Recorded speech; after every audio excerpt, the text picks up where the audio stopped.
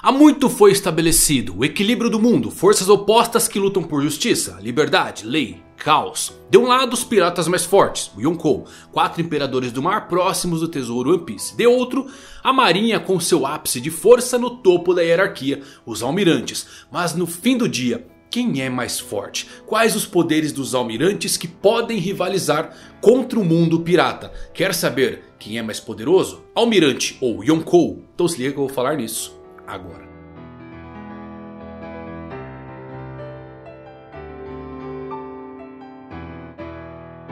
Fala galera, Evandro Fusari com mais um vídeo pra vocês, é que vocês estão? Espero que todos vocês estejam maravilhosamente bem E hoje adentrando em uma área perigosa Quem é mais forte? Almirante ou Yonkou? Já tem sua resposta? Calma, assiste esse vídeo até o final Porque saiu muita informação nova dentro da história Que podem colocar um fim nessa dúvida Que pode nos revelar quem é mais poderoso. Então assiste até o final porque esse vídeo está muito legal. Antes de eu falar, aquele recadinho para a pior geração. Vota no Mangá e no Best se você ainda não votou. Tem uma vaguinha para final. Conto com sua ajuda se você curte o canal. Link aqui no primeiro comentário. Recadinho dado, vamos descobrir tudo agora sobre as forças opostas do mundo de One Piece.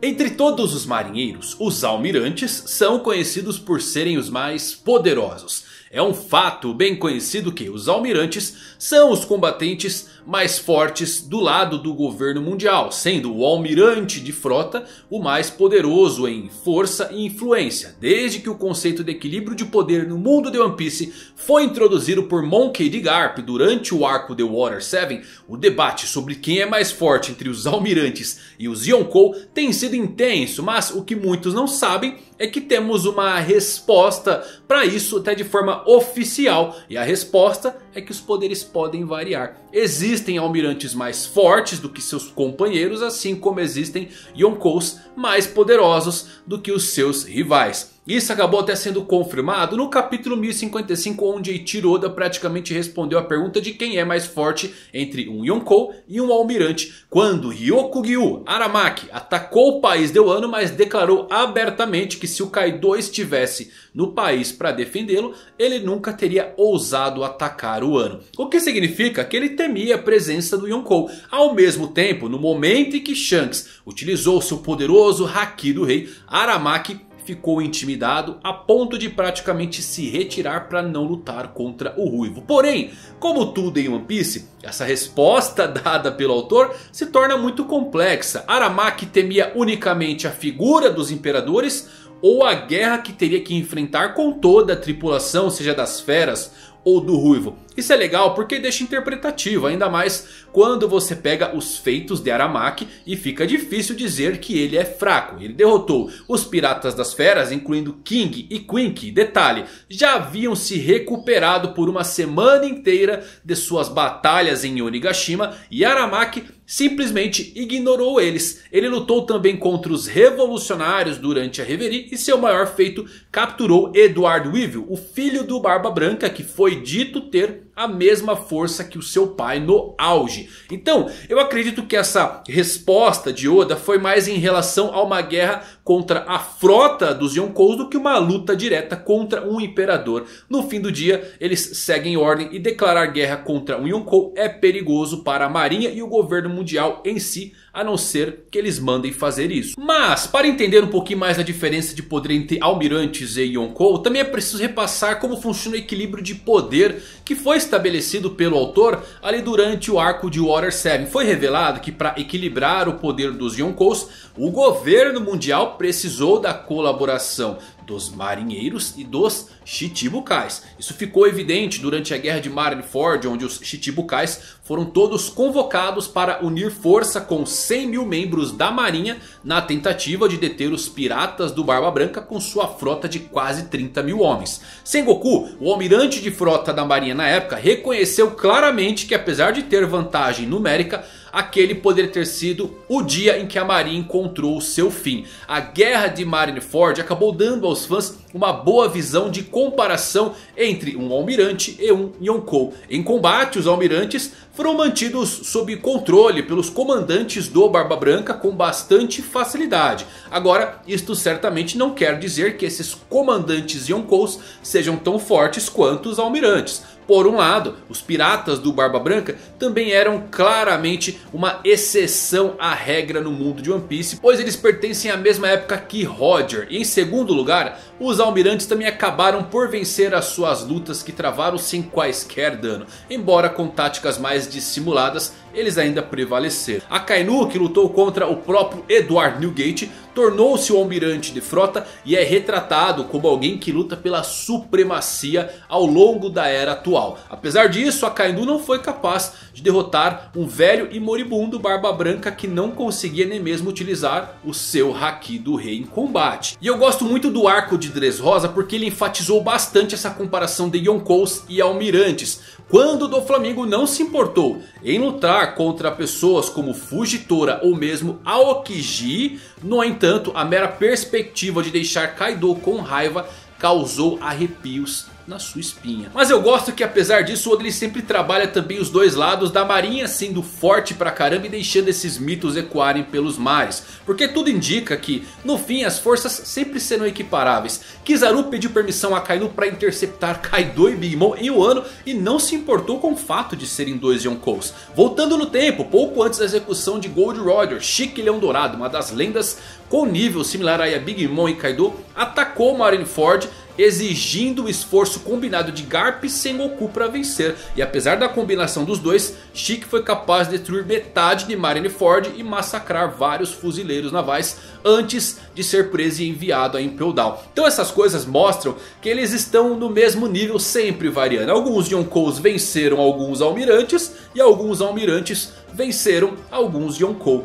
E o que eu gosto bastante de como Oda ele trabalha bem essa perspectiva de força dos dois lados foi quando ele colocou Gold Roger dizendo que se quisessem capturar ele chamasse Sengoku, que era almirante na sua época, junto de Monkey e de Garp. Ou seja, esses dois poderiam lutar de igual contra Roger. Então eles são constantemente colocados narrativamente no mesmo nível, Yonkou é almirante. E a única razão pela qual os almirantes acabam esquecidos hoje em dia é por dois pontos. Primeiro que eles têm uma aparência mais comum quando comparado com os Yonkous que têm formas e apresentações mais épicas, os tornando monstros ambulantes. E um outro motivo para as pessoas acharem que os almirantes podem estar abaixo é porque eles ainda não mostraram todas as suas proezas no pós-time skip. Mas aos poucos já estão construindo isso. Aramaki tem feitos incríveis. Aokiji, que apesar de não fazer mais parte do corpo da marinha, derrotou o Garp. E agora temos Kizaru lutando diretamente contra o Yonkou, Monkey de Luffy. Os almirantes, eles são os oficiais de alto escalão dos fuzileiros navais,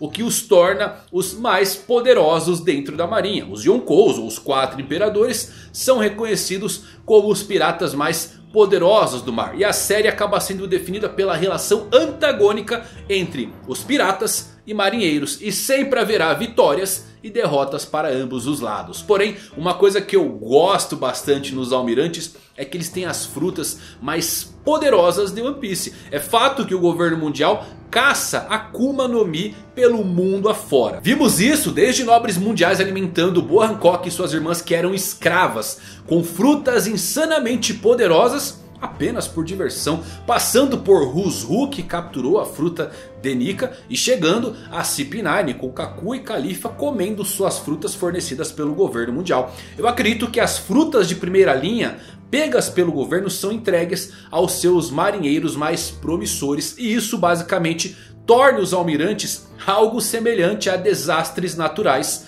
ambulantes. Cada almirante antigo e atual possui uma fruta do diabo que lhe permite causar enormes quantidades de danos. Não apenas aos seus oponentes, mas também chegando ao ponto de mudar paisagens inteiras. Vimos isso em primeira mão com Aramaki, o almirante Ryokugyu, mas diferente das destruições que vimos por parte de outros almirantes, ele basicamente reflorestou o país deu ano apenas por caminhar nas suas terras áridas. Sua fruta é a Mori Mori no Mi, a fruta da floresta, que por ser uma fruta do tipo Logia, pode gerar grandes quantidades de plantas para desencadear ataques em larga escala. Como foi mostrado ali quando o seu usuário atacou os piratas das feras transformando seus dedos em galhos afiados de árvore e os fez crescer livremente para empalar dezenas de inimigos em uma grande área e tudo isso com facilidade. Aramaki também pode realizar feitos incomuns com as suas plantas,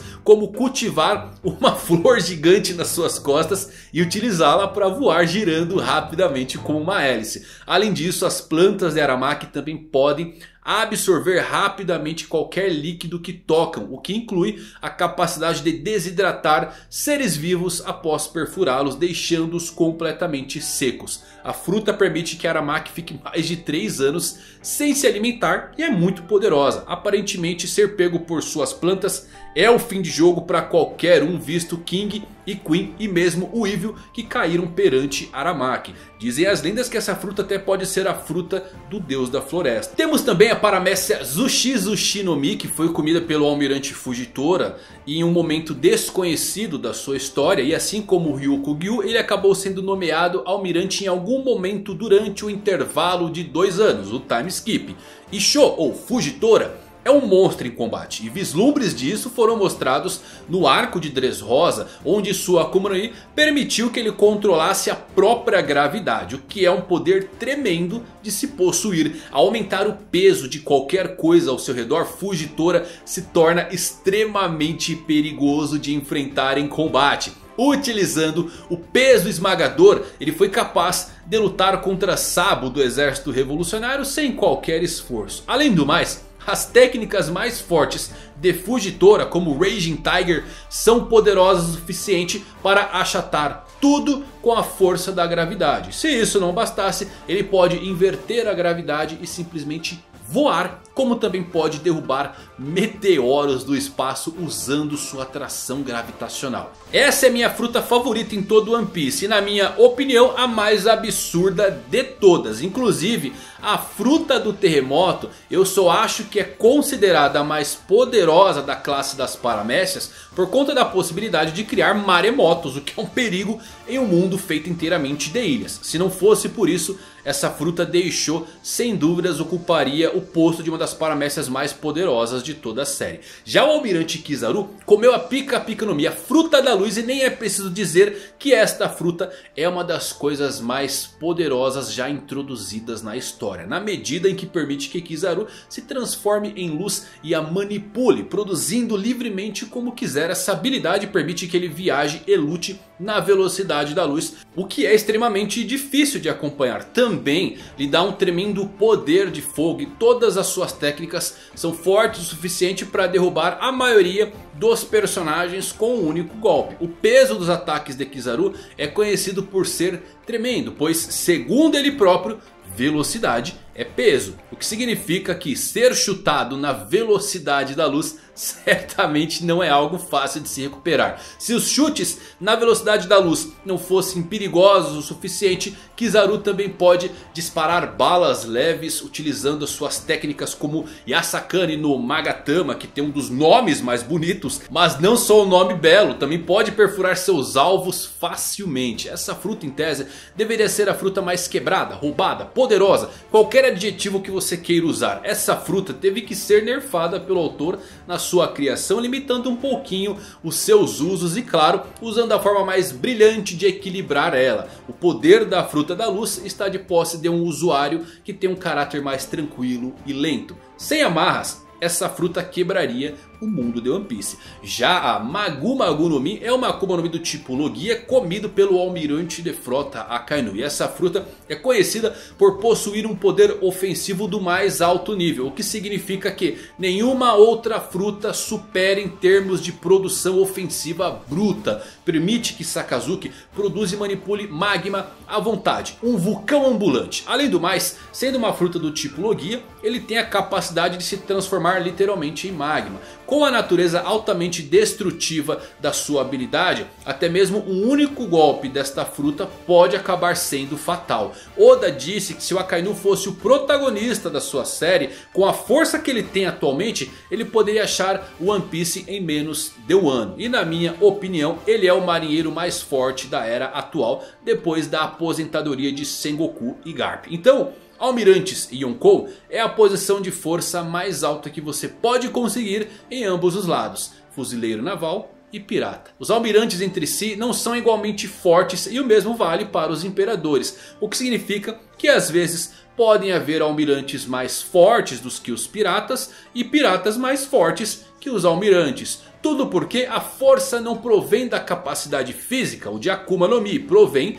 de uma vontade indomável. E saibam que a justiça sem a força é impotente, a força sem justiça é tirana. A justiça vai prevalecer, você diz, mas é claro que vai, afinal, quem vence essa guerra se torna justiça.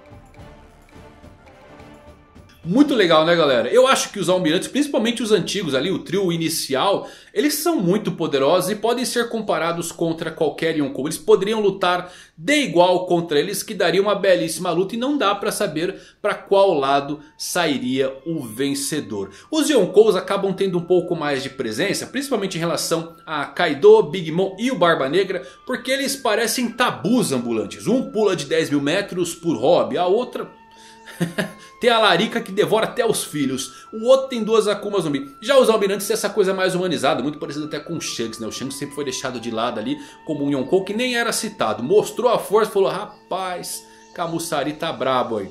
Eu acho que no fim do dia depende da força de vontade e claro do autor. Mas ambos estão certamente em níveis parecidos. Mas pergunta a você, quem é mais forte? Yonkou ou Almirante? Qual Akuma no Mi mais forte entre essas. Nika, fruta do magma, fruta da luz, da gravidade, fruta do bug. Ué, buguei um gol agora, vai falar o quê?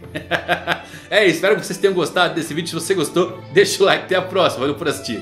Fui.